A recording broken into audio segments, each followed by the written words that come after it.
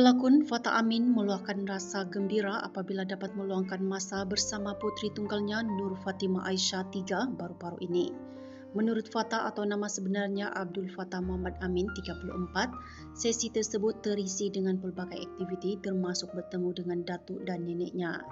Dia gembira bila dapat berjumpa dadi dia. Saya bawa dia jalan-jalan dan belikan permainan. Saya juga turut bawanya isi masa dengan ahli keluarga saya yang lain. Alhamdulillah, terubatlah kerinduan itu, katanya. Fatah berkata demikian ketika ditemui pada malam kemuncak Anugerah Sri Angkasa 2024 di Putrajaya malam tadi. Minggu lalu, Fatah berkongsi sepotong video dan gambar yang memaparkan dirinya bersama-sama Fatimah yang turut disertai ahli keluarganya yang lain. Dalam pada itu, Fatah juga tidak menafikan jadual kerjanya yang kian padat menyebabkan berat badannya mula susut. Jadual saya sudah penuh tapi tidaklah sehingga hujung tahun depan sampai bulan Februari 2025. Alhamdulillah. Nampak susut mungkin sebab kesibukan kerja juga.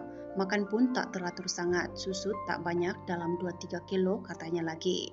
Nama juara Hero Remaja 2011 itu menjadi perhatian sehingga digelar sebagai Duda Hot oleh segelintir warganet selepas dia berpisah dengan aktris dan usahawan Nur Fazura pada 7 Oktober lalu.